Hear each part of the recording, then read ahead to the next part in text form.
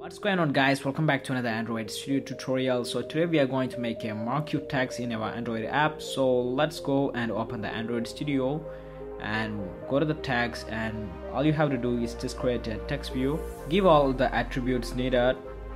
So I'll be adding all the lines. I use it here in the description of this video. And once it is done go to the main activity.